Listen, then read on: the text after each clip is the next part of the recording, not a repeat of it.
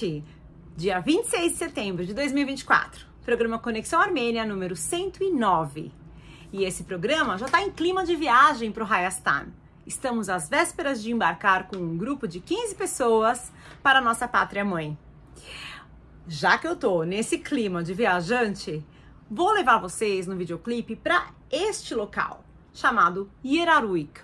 Yeraruik é um templo que começou a ser construído no século IV e terminou no século VI. É uma grande estrutura da época paleo-cristã. Aqui, hoje, você pode visitar essas ruínas e ela fica bem pertinho da fronteira com a cidade das mil igrejas, Ani. Fica na região de Lori. Yeraruik, que é o nome do local, significa algo que está tremendo, algo que está em movimento. Porque quando você vê ela de longe, a sensação que dá é que o prédio está tremendo, chacoalhando. Então, o videoclipe de hoje será de uma dança típica chamada Uzundará, que é uma dança tipicamente das mulheres com sua graça armênia. Então, com vocês, Uzundará em Iraruik.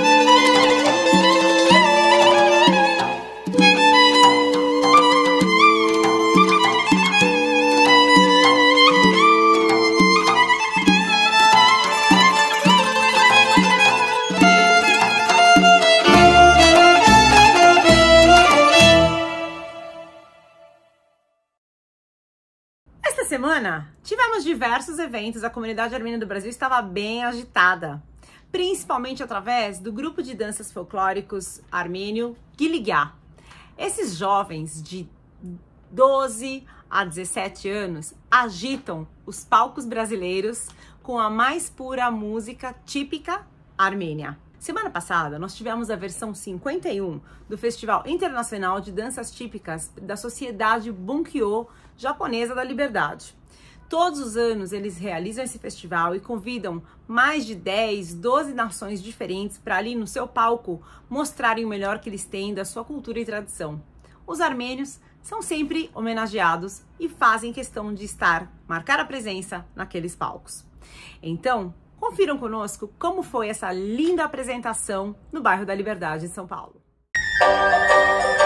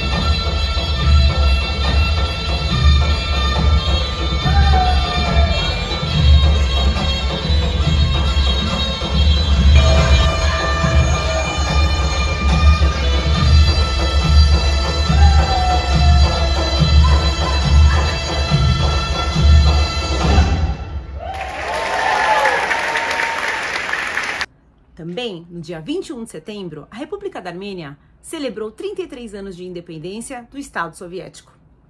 Para nós, isso é uma grande celebração. Cada um desses 33 anos deve ser celebrado porque a Armênia, durante esse período, floresceu, se abriu para o mundo, expandiu, teve novos negócios, é, se aproximou da possibilidade de pequenos comerciantes, de pequenos industriais. É, a Armênia mudou totalmente em 33 anos. Talvez para muitos povos, nossa, só 33 anos? Que ridículo! Na verdade, só sabe o valor da independência aquele povo que já foi oprimido, que já teve um outro estado, uma outra nação querendo dizer como ele deveria agir, que língua ele deveria falar, qual moeda ele deveria usar, quais eram as políticas que eles deveriam adotar dentro do seu próprio país.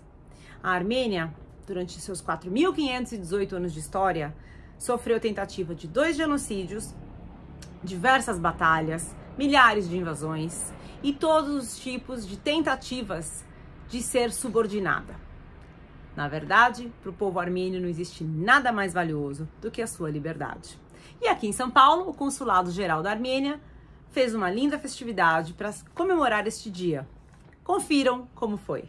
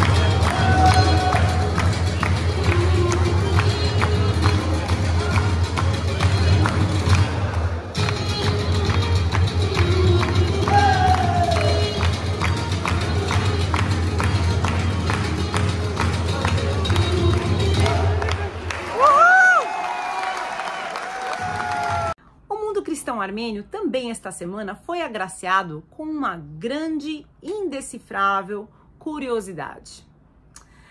Um cardeal católico armênio teve seu corpo transportado da sua sepultura para sua cidade natal, no Líbano. Quando eles abriram o caixão, eles viram que o corpo dele estava intacto. Vocês verão as imagens Faz mais de 30 anos que ele foi enterrado e é como se ele tivesse apenas dormindo. Isso terá repercussões. Vejam só. Este é o corpo do cardeal Gregório Pedro Agagianianian, recentemente trazido de Roma para Beirute em comemoração ao seu processo de canonização. O cardeal Gregório Pedro teve um importante papel na segunda metade do século XX não apenas na projeção da Igreja Católica Armênia no mundo, mas, sobretudo, na difusão dos valores cristãos no mundo profundamente marcado pelos impactos das guerras mundiais. Tendo vivido os principais dramas históricos do povo armênio e também do mundo, Gregório Pedro soube transmitir um testemunho não apenas de fé, mas de uma ética fundamental do povo armênio para toda a humanidade a possibilidade de resistir diante de todo tipo de tormenta. E é interessante notar que recentemente, quando seu corpo foi trazido à luz, percebeu-se claramente que não havia marcas de decomposição. Um sinal divino? Um sinal humano? Independente da posição que se tenha, é uma metáfora muito bonita de alguém que, representando o povo armênio, soube testemunhar as marcas intactas da fé e da hombridade deste povo no mundo. O cardeal Pedro, que recentemente será elevado à honra dos altares católicos, É uma marca não apenas para a Igreja Católica Armênia, mas para todos os cristãos do mundo. A recepção de seu corpo, em meados de setembro, em plena Beirute dilacerada pela guerra, é um símbolo daquilo que o próprio cardeal fez em vida manifestando-se publicamente pelo repúdio a toda forma de discriminação, preconceito e eliminação de povos, seja em relação ao seu próprio povo, em que várias vezes se manifestou repudiando o genocídio armênio e exigindo da Igreja Católica o seu reconhecimento, mas também de vários conflitos ligados ao Oriente Médio e ao Cáucaso, do qual era profundamente relacionado. Tendo nascido na Geórgia, logo se desenvolveu um grande interesse pela região do Líbano, onde era o patriarcado da Igreja Católica Armênia. Gregório se tornou então testemunho não apenas da devoção cristã, mas sobretudo da construção de uma ética humana. A sua recente transladação para o Líbano é um símbolo de que a cruz deve permanecer sobre a maldade e de que o amor deve ser o privilégio de todo cristão. Davi Cumbrian, que também está de malas prontas para ir comigo para a Armênia e fazer grandes vídeos para o Conexão nessas próximas três semanas, hoje vai trazer uma entrevistada que é uma jovem armênia da comunidade de São Paulo, proeminente, advogada. Vamos ver o que foi que o Davi descobriu na Beatriz Kenchian. Ok. Vamos dar um 5 segundos para. É, vamos lá.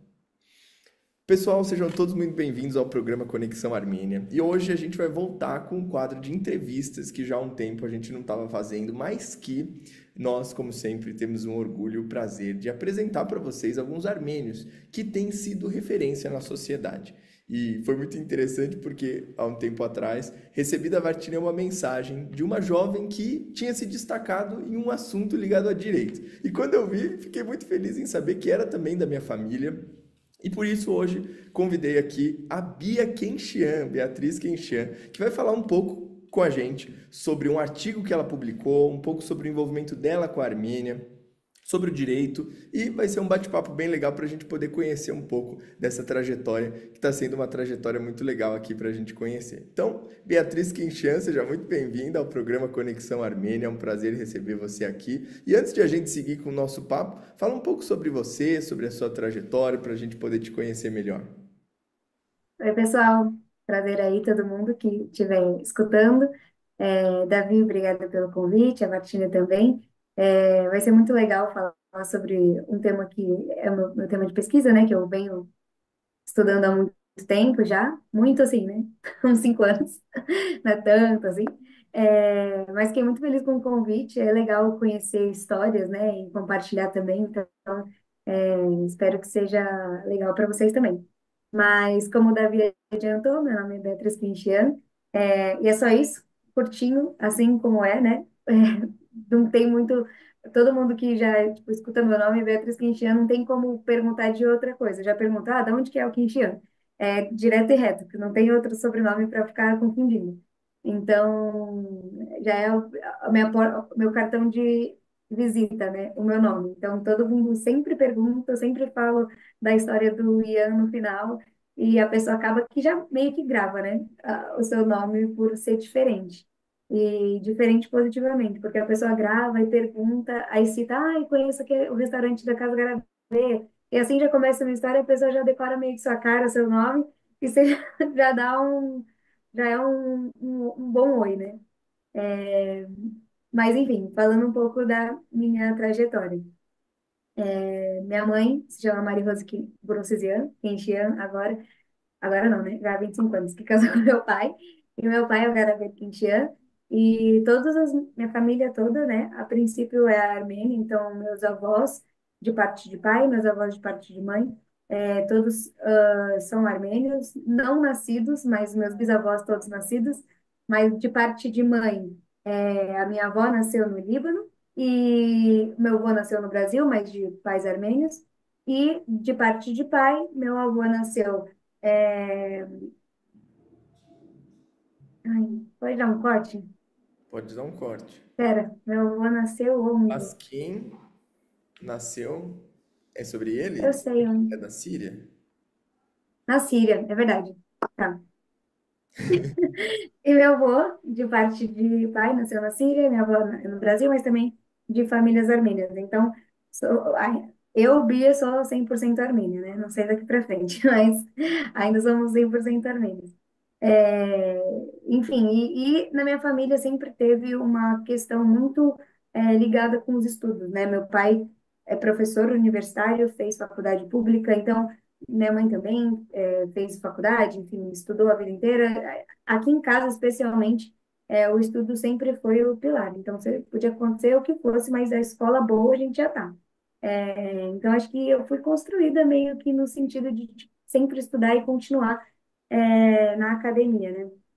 Porque foi uma, um pilar que meus pais me passaram.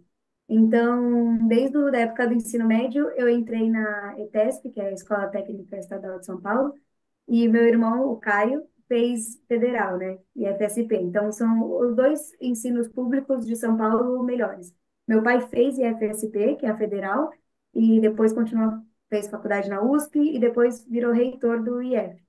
E eu preferi para o estadual, que é a ETESP, porque não era muito minha vibe é, exatas, eu era mais humanas, então fui para a ETESP, já teve uma prova lá para passar, enfim, passei. E eu e o meu irmão seguimos nessa, cada um de um lado, mas já sempre focados é, em estudar. Como nem tudo são flores, o ensino público não é tão super bom, né, na, no ensino médio. Então, eu fiz um ano de cursinho, que eu falo que eu aprendi três anos em um, para conseguir passar na USP em Direito, que foi a faculdade que eu fiz. Então, foi um ano triste, de muita dedicação, que eu foquei 100%, mas consegui passar. É, e o Davi sabe bem, né, como funciona uma universidade pública. Eu acho que é um, um vulcão de, de ideias, de aprendizados, de, de pessoas diferentes. Então, vem gente de todo qualquer lugar do Brasil para estudar lá com foco. É, então, você acaba tendo contato com inúmeros temas, é, inúmeras oportunidades. As pessoas te olham de uma forma diferente, porque você já está numa universidade pública, você consegue ter oportunidades legais e se você consegue abraçar tudo e ter esse cartão de visita legal, que é o que eu falei no começo, as pessoas começam a saber quem você é e lembrar de você, facilita, né, a vida para você se desenvolver na sua área de interesse. Então, a história, a vida com, com a Armênia e, pessoal acaba se misturando, porque meus pais, os imigrantes, né, que vieram, vieram aqui com uma mão na frente e outra atrás, vieram para o Brasil tentar a vida, na minha família especificamente, algumas foram mais por comercial. Meu, meu avô tinha uma, uma fábrica, tinha um comércio, mas meu pai sempre já foi focado para o estudo, porque falou, vou ganhar vida com o estudo, e passou para mim isso. Então, é, cada um no seu nicho, a gente foi se, acostumando, né, as pessoas que vieram para cá com o Brasil e encontrando seu espaço, né? Na- no meu caso particular, foi por meio dos estudos. Que legal, Bia. Parabéns de verdade pela sua trajetória. E agora, já formada, inserida aí no, nos escritórios, trabalhando com direito ativamente, a gente ficou sabendo que recentemente você lançou um artigo, foi publicado aí no seu nome. E a gente queria saber um pouco mais sobre o contexto, sobre ah, do que ele se trata, o que a gente pode aprender com ele, porque, assim, sempre que nós vemos que alguém descendente de armênios como você falou, né? As pessoas, os nossos avós, bisavós, eles chegaram e começaram a investir nas próximas gerações.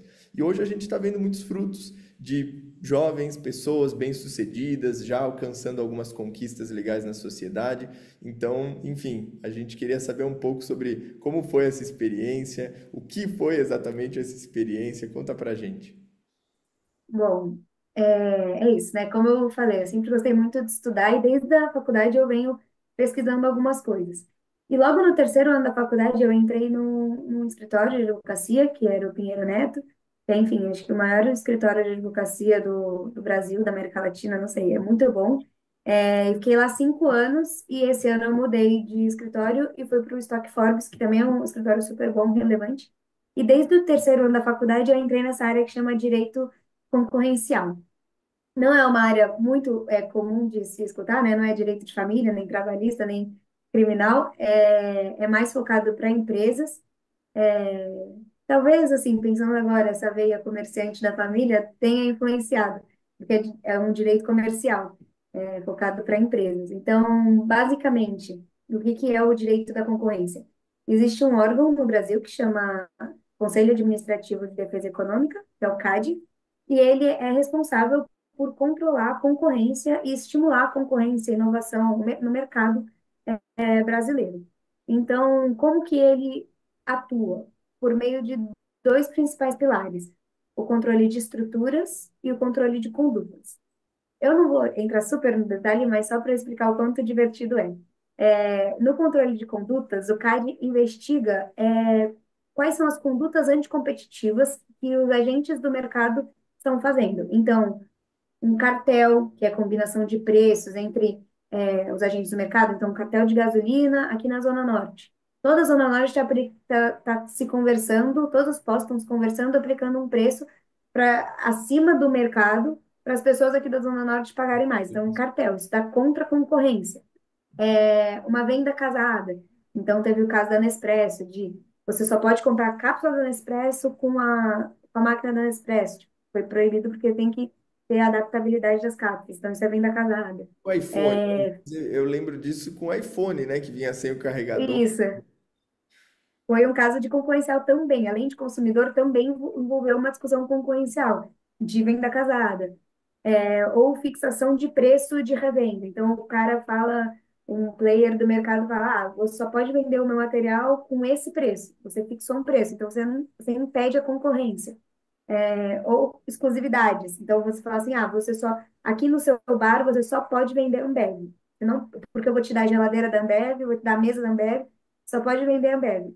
Isso você corta a concorrência com os outros concorrentes. Então, todas essas condutas que mexem com a concorrência, o CAD é, enxerga e tenta limitar mais um último, do iFood. O iFood tem contratos de exclusividade com os restaurantes. Aí o, o, o cara que está no iFood não pode estar em outros aplicativos. Isso o CAD pegou e falou, não, não dá. Tem que liberar o restaurante para é, ter outros, outros aplicativos para ele mexer. Então, todas essas condutas é, fazem parte do controle de condutas do, condutas do CAD. E a, o outro pilar é o controle de estruturas. Então, quando uma empresa vai comprar outra, quais são, é, a, quais são os requisitos que o CAD olha para aprovar ou não. Então, se o Burger King quiser comprar o McDonald's, provavelmente não vai poder, porque, é, provavelmente não, quase 100% de certeza que não vai poder. Porque, são, porque você vai gerar um monopólio do mercado de fast food. É, agora, se uma, empre... se uma padaria da Zona Norte quer comprar uma padaria da Zona Sul, não tem problema, porque o consumidor que está na Zona Norte não vai se deslocar para a Zona Sul para ir na padaria. Então, você não vai estar tá fechando o mercado. É, você não vai estar tá concentrando o mercado. Vai estar tá tudo bem. É, e o mercado de padarias é super pulverizado. Então, é, a cada caso, a gente tem que entender qual é o mercado relevante. Então, sei lá, Red Bull é um energético. Eu tenho que olhar para todos os energéticos que existem. Então, eu já vou no mercado e já olho, ah, tem esses energéticos, existe concorrência, não existe. É, se a Red Bull comprar quem que vai concentrar mais ou menos. Então, isso são as concentrações horizontais, né, no mesmo mercado, ou, é, ou vertical. Então, eu tenho um ketchup. Se eu comprar uma, uma fazenda de tomate, eu vou estar concentrando verticalmente o mercado. Então, o produtor, para o fazedor de ketchup, para vendinha que vende ketchup. Então, eu estou concentrando a cadeia vertical. E assim vai. São os controles de, de concentração do mercado. Esses são os dois principais, as duas principais áreas. Então, sempre depende do mercado que está sendo analisado. Vai depender se é, se é nacional, se é regional, se é por bairro, se é por raio de 10 quilômetros de deslocamento, e assim vai. E o artigo, especificamente, é, fala sobre quais são os critérios que o CAD analisa no controle de estruturas, então, nessas concentrações, nessas fusões, aquisições, que devem ser considerados para além do preço. Porque o que a primeira coisa que a gente pensa é, se a Sadia comprou a Perdigão, os frios vão ficar mais caros. Que é o que aconteceu, né? A Sadia comprou a Perdigão. O todo, a mortadela, o queijo, tudo vai ficar mais caro. Porque, porque eles vão ter uma concentração no mercado, eles colocam o preço que eles quiserem e matam a concorrência. Ou até mesmo diminuem o preço, a concorrência morre e depois eles botam um preço alto para quanto eles quiserem. Então, o preço, e o meu artigo chama é, Nem Tudo é Dinheiro, né? Que é uma brincadeira que eu fiz para falar sobre quais são os outros requisitos que devem ser analisados nas concentrações além do preço. Então, além dessa, dessa aumento e diminuição de preço, o que, que a gente também deve levar em consideração? Então, o que eu falei foi sobre a qualidade. Então, a qualidade do produto tem que ser levada em consideração, se a qualidade vai aumentar ou piorar. É, a inovação. Então, quando eu estou num mercado concentrado, qual que é o meu incentivo para inovar nele? Se eu tenho um mercado 100% pulverizado, então com vários competidores, eu me esforço muito mais, eu invisto muito mais em pesquisa, em desenvolvimento, em inovação, para eu ter algum diferencial no mercado e a pessoa comprar de mim. Se eu não tenho essa competição no mercado, eu estagno e não fico investindo, que é muito caro investir em inovação. Então, a inovação tem que ser levada em consideração. É, a quantidade de produtos disponíveis, então a variedade de produtos, eu preciso pensar numa gama maior de produtos, ofertar mais, é, mais, mais inovação com mais qualidade, os três juntos. Então, quais são os outros critérios que a gente tem que pensar é, dentro, com a cabeça de consumidor que fazem diferença além de subir ou não o preço, porque às vezes o preço diminui a qualidade também. Foi o que aconteceu, inclusive, com o side e Perdigão. Acabou que a qualidade ficou menor durante um tempo, enfim, agora está se adequando, tem agora várias linhas e tal. Mas o próprio CAD determinou que é, a qualidade não podia diminuir. É, enfim, e aí no artigo, depois a gente deixa no link aqui embaixo, é, disponibilizado para quem quiser ler. Foi publicado o, o artigo? Uhum. Foi publicado na revista de Direito Mercantil da Faculdade de Direito da USP. Então, é uma revista é, acadêmica da Faculdade de Direito da USP que os próprios professores organizam. E aí, enfim, você manda, submete, tem uma avaliação pelos professores, eles voltam com comentários, se ajusta, e aí sim é, os artigos selecionados são publicados. É, inclusive, uma curiosidade, eu publiquei esse artigo junto com a minha estagiária do escritório, porque eu já publiquei alguns artigos durante esses cinco anos aí de atuação, seis, na área de direito da concorrência, e os primeiros que eu escrevi foram meus chefes me chamando para escrever. Então, Bia, escreve comigo e tal, e me estimulando. E aí, essa vez, agora que eu já estou um pouquinho mais madura na área, eu falei, poxa, eu, eu queria escrever sobre esse tema, eu falei, vou incluir a minha estagiária para continuar essa corrente da, da escrita, né? Meus chefes me chamaram antes, agora eu vou ser a, a pessoa que vai chamar.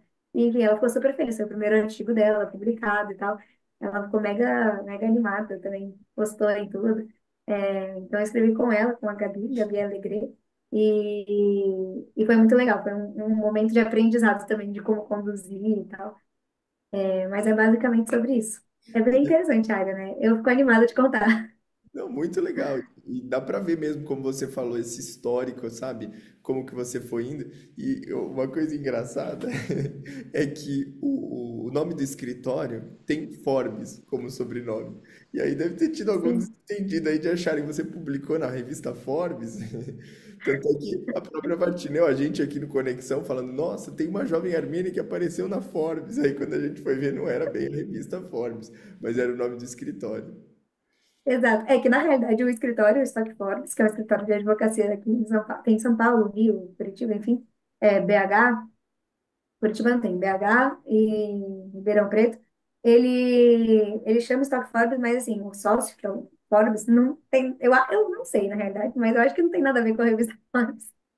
Mas eu publiquei o, o artigo na revista de Direito Mercantil da faculdade e eles publicaram, tipo, a, é, a nossa advogada publicou. Então, divulgaram o artigo da faculdade, porque é legal para o mercado ver que os, as pessoas, do, os advogados do escritório estão publicando. Então, é, foi daí que veio a confusão, mas, enfim, quem sabe um dia eu saia na Forbes. Isso aí, é isso aí. Na Forbes, revista Forbes. Ó, agora eu vou fazer um corte na edição, porque eu vou te perguntar uma coisa antes de te perguntar para valer. Mas eu vou te fazer uma pergunta agora que não estava na, na listinha, mas é sobre o que você acha sobre esse assunto na Armênia. Se sente confortável em falar sobre isso ou você prefere pular você não vai saber? Porque assim, a gente sempre costuma trazer algumas informações sobre a Armênia, ou curiosidades, por exemplo, do direito comercial na Armênia, ou alguma, algum fato, alguma curiosidade, alguma coisa da Armênia. É, como que você acha que eu posso formular essa pergunta? Ou se não faz sentido, a gente pode já finalizar, porque a ideia é que não sejam entrevistas muito longas, como eu disse, no máximo 10 minutos depois da edição. Aí Meu. Davi, porque eu tô pensando, porque assim, a Armênia nem faz parte da União Europeia, né? Não. Então, nem são todos os países que têm um órgão de concorrência. Hum. Então, ou se tem, eu acho que nem tem, e se tem é pouco relevante, não sei nada sobre como funciona a concorrência na Armênia. Eu acho que nem, nem sei se tem um órgão que regula, que não é tão como, tipo, são um país um pouco mais desenvolvido. Não sei se na Armênia tem, talvez até tenha, uhum. mas não sei. Tá, então, então o que eu vou fazer? Eu vou falar para você, agora já a gente finalizando, eu vou falar para você mandar uma mensagem para os nossos telespectadores, uh, uma mensagem do seu coração, principalmente voltada uh, para pessoas que podem olhar o seu exemplo como um exemplo a ser seguido. O que, que você recomenda, principalmente para os jovens, telespectadores, armênios e não armênios, tá. uh, nessa área, tá bom? E aí a gente fecha. Foi muito legal, hein? Tá sendo muito que legal. Bom. Que bom. Que legal. E Bia, para a gente fechar, uma pena fechar porque tá um papo tão legal, mas queria que você desse uma desse suas considerações finais aqui sobre tudo que a gente falou. E novamente te parabenizando, como a gente falou desde o início, é muito legal e muito gratificante a gente ver esses destaques na sociedade. E tenho certeza que muitos dos nossos telespectadores, sejam eles armênios, descendentes de armênios ou na maioria que os nossos seguidores são brasileiros que gostam de aprender sobre Armênio, o que, que eles podem, sabe, receber de um conselho seu sobre tudo isso para a gente fechar o nosso programa? Boa. Primeiro, agradecendo aqui o espaço, obrigada, David, de novo. É, acho que o meu conselho principal é, é o que eu falei logo no começo. Então, usar esse cartão de visita, né, esse nome diferente, essa alegria diferente, é, para te fazer é, ser visto, para marcar. Então, se você tem. Nós, armênios, já somos diferenciados, porque nem, nem todo mundo sabe onde é armênio. Então, você já vai estar tá trazendo uma informação para a pessoa quando ela te perguntar. Então, usar disso ao nosso favor e se fazer presente e, e contar um pouquinho, às vezes nem, nem precisa ser muito, mas contar um pouquinho sobre, ou falar do seu sobrenome, ou falar da sua vida, ou ah, é, até os traços, o nosso, o nosso rosto já mostra, né? É, não precisa nem ter o sobrenome Ian, nosso rosto já mostra que é um pouco diferente. Então, usar isso a nosso favor para se fazer presente e, e ser lembrado. E aí, com isso, as portas vão abrindo. Então, as pessoas vão se lembrando de você, vão, você vai sendo convidado para fazer coisas. É, e também sempre aceitar, estar aberto às oportunidades, aceitar e vai com medo, é, óbvio, é isso que eu, que eu sempre fui educada. Estuda, esteja preparada, é, sempre esteja sólido no conhecimento, e aí quando as oportunidades vierem, quando você estiver disponível numa, numa situação que você possa colocar, se colocar, é, se coloque. E vai, vai em frente. Nem que o primeiro assunto seja esse, de puxar uma, uma coisa sobre a sua origem, sobre a sua história. Então, é um, é um, é um bom assunto inicial, né, para você já entrar nos ambientes. Acho que essa é a minha, minha principal E de toda forma, achei incrível o fato de os seus ancestrais, os seus avós ou bisavós que vieram da Armênia terem esse envolvimento com o mundo comercial e você, de alguma forma, também seguindo isso. Bia, foi Exato, no direito. É, no direito. Foi muito legal o nosso papo. Obrigado por tudo que você comentou. E a gente vai deixar o artigo aí para quem quiser também conhecer mais. E, novamente, muito obrigado. Pessoal, nos vemos é, no próximo programa com mais entrevistas e curiosidades sobre armênios, sobre a Armênia.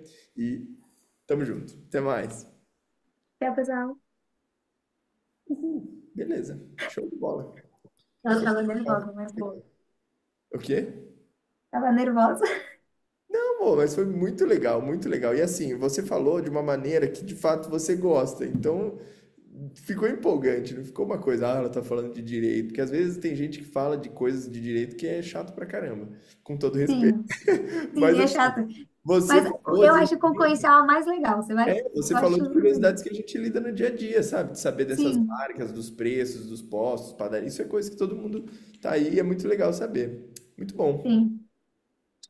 Show, Davi, obrigada mesmo pelo convite, foi legal. Manda um abraço assim... todo mundo, sua mãe, seu pai, seu irmão, todo mundo. É, para o seu futuro marido também. Vou mandar. E a gente vai se falando, viu? Abração. Fechou, Davi. Obrigada. Tchau, tchau. Beijos. Eu adoro ver esses jovens talentos que a gente tem. É uma diáspora, é uma quarta geração pós-genocídio que cresce, floresce e contribui para a sociedade brasileira com todos os seus genética armênia. Parabéns, Beatriz!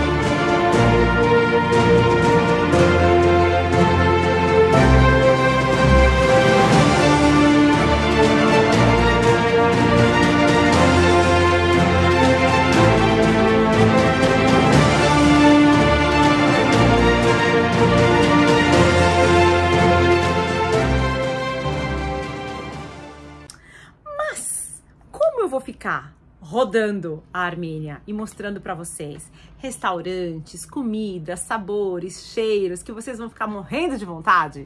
Pedi para Marcela Suzmanhã essa semana trazer algumas dicas de onde vocês podem provar algumas dessas delícias aqui na cidade de São Paulo. E a Marcela hoje mostra para nós o restaurante Marash, que fica ali na região da Faria Lima. Então, se você não resistir aos meus vídeos da semana que vem, vai lá no Marash e experimenta. Andando aqui pela Faria Lima, que é uma das avenidas mais importantes aqui de São Paulo, eu me deparei com marascos em Armênia. Afinal, eu sou uma Faria Limer e eu tô sempre por aqui, então eu resolvi mostrar um pouquinho para vocês também. Vem comigo.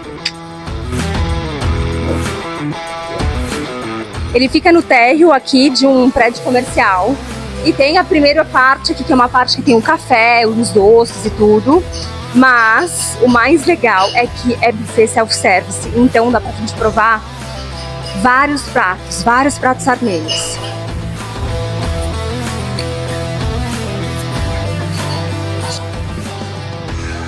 e eu cheguei bem cedinho porque aqui costuma ficar super lotado.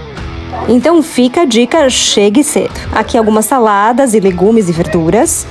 E agora vem a parte que interessa que é hummus, corada seca, babaganush, tabule e quibe cru. E a parte dos quentes que é assim, para tirar o chapéu mesmo, porque normalmente quando a gente vai cozinhar em casa uma comida armênia, a gente escolhe um ou dois pratos, então um arroz com macarrãozinho, com kofté. Aqui não, a gente tem toda a variedade, então tem desde charutinho, tem sopa de coalhada, tem ericé, tem até peixe feito da forma armênia. Então o que eu acho mais legal é que dá para provar um pouquinho de cada. E é claro que nunca pode faltar uma esfirrinha, inclusive tem esfirra de Bastermá. E essas foram as minhas escolhas de hoje, do que eu costumo comer aqui. Então eu escolhi o hummus, aqui um kibe cru, kofté, um pouquinho de abobrinha para ter um legume, ericé, que é uma coisa super difícil de encontrar, arroz com macarrãozinho, charutinho e kibe na coalhada. Bom apetite! Para mim, no caso. hum. O kofté tá super maciozinho, uma delícia. Deixa eu provar o ericé. Muito bom também. Ó. Mas o outro Davi, que é o Davi Surian, vai falar para nós sobre o mundo dos esportes entre os armênios. Davi, quais são as boas novas? Fala pessoal do Conexão Armênia, aqui Davi Surian, trazendo algumas notícias do esporte da Armênia para você. Claro, poucas notícias nesses últimos dias, porém uma que eu destaco são os amistosos que a seleção de futsal da Armênia realizou nos últimos dias.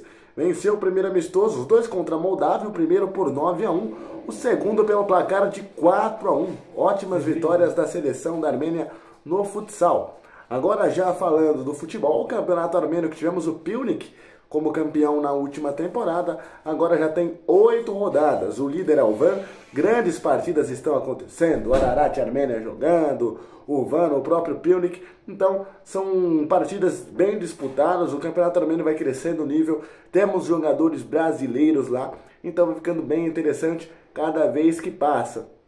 E claro, tudo que tiver para a gente atualizando, nós vamos atualizando. A seleção da Armênia realizou dois amistosos no último mês, conseguiu uma vitória e uma derrota, né? Perdeu para a Macedônia do Norte e venceu seu outro compromisso pela Liga das Nações da Série C.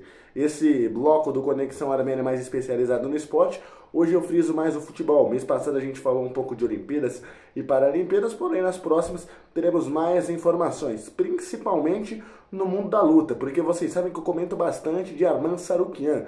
Pois é, o título dos pesos leves está no entrave muito grande para saber o que acontece. O, o Charles Oliveira, o Charles do Broncos, vai enfrentar o Michael Chandler. Quem sabe nessa vitória de Michael de Charles Oliveira e Michael Chandler, a gente pode ter um possível adversário para o Arman Sarukian no cinturão vago, até porque o atual campeão Mahashev está lesionado. Então a gente pode ter essa disputa de Charles, vamos ter, né, Charles e Chandler, talvez o vencedor lute contra o Sarukian, valendo o cinturão vago. E tomara que o Charles Oliveira vença essa luta e repita uma revanche aí com o Arman Sarukian para a gente ter esse Brasil e Armênia, porque aí qualquer resultado sairemos com um sorriso no rosto. Um abraço pessoal do Conexão Armênia, até a próxima com muita informação do esporte. Mas o mundo cristão armênio também realiza ações aqui no Brasil. Então, a Paróquia Católica de São Gregório Iluminador está realizando uma peregrinação para Aparecida no finalzinho de outubro. Então, liga aqui, pega as informações, junte-se a esse grupo. Eu tenho certeza que vai ser muito interessante visitar a nossa grande padroeira com esse grupo de armênios doidos que moram aqui em São Paulo. E agora, deixo aqui um convite para vocês. Nas próximas três semanas, o programa Conexão Armênia estará em loco, lá na Armênia. O programa 110 será feito diretamente de lá. Talvez seja um programa um pouco mais curto, porque é difícil para eu fazer as edições quando eu tô fora de casa. Às vezes a internet não funciona muito bem, mas nós traremos o nosso melhor e vou voltar com uma mala cheia de novidades, entrevistas, lugares novos para você conhecer. É, acompanhe a gente aqui, dá, deixe seu like, ative a notificação para que quando a gente entre ao ar ao vivo, ou traga novos vídeos curtos, vocês possam ser os primeiros a saberem. Na verdade, é, a minha intenção é criar uma vontadezinha, um gostinho de quero mais para vocês ano que vem virem comigo. Nessa viagem, a gente vai ver coisas muito interessantes pela primeira vez. Então, a Catedral de Etmiadzin, que foi a primeira catedral do mundo, ficou fechada por seis anos para renovação. Ela estava com umidade nas paredes, de tantas velas que eram acesas lá dentro, e aquela umidade estava corroendo os tijolos. Então, ficou fechada, ela será reinaugurada e a gente vai visitar ela no dia seguinte. Seremos praticamente os primeiros a pôr o pezinho em Etmiadzin. Além disso, eu vou levar o nosso grupo para uma cidade de águas medicinais chamada Bajni, que é uma água, vamos comparar a águas prata. Você toma depois do almoço e parece que não comeu nada. Além disso, nós testemunharemos um casamento típico local. Então, Gente, tem muita coisinha diferente que vai aparecer aqui no canal do Conexão Armênia. Fique ligado. Enquanto isso, eu deixo vocês aqui com meu Kisher Pari, meu boa noite. E para isso, vou finalizar com este vídeo desta mãe armênia linda, com as roupas típicas, cantando uma canção de Ninar para sua linda filhota. Então, vejo você na Armênia. Ustitsko gas hushik hushik Պոտամտել վարդի փուշիկ, ուստից կուգաս հուշիկ, հուշիկ, Պոտամտել վարդի փուշիկ, շատ խորոտես պակ տանուշիկ, շատ խորոտես պակ տանուշիկ, Հարա իմ թարլան աղջիկս, հարա իմ ջերան աղջիկս, հարա իմ անուշ աղջիկս, հարա իմ պուպուշ աղջիկս, Տոլ տոլ տոլ տոլ տոլ տոլ տոլ տոլ տոլ տոլ տոլ ջան, տոլ տոլ տոլ տոլ տոլ տոլ տոլ տոլ տոլ տոլ 嘟嘟嘟了嘟了嘟嘟了嘟嘟嘟了嘟了嘟嘟了讲嘟了嘟了嘟了嘟嘟了嘟嘟了嘟了嘟了嘟了嘟嘟了嘟